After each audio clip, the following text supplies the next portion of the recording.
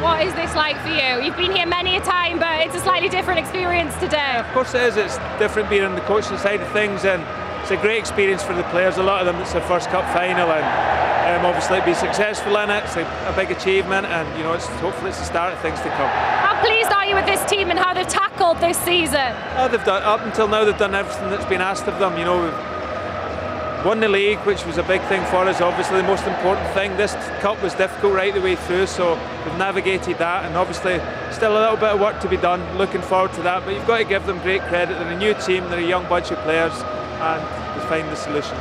Peterhead didn't make it easier for you today, did they? No, not at all. Nobody does. You know, every game Rangers plays a cup final, and today was no different. They made it hard. They were organised. They worked hard. They frustrated us for periods in the game. So we had to be patient. We had to keep doing the right things, which I think the boys did.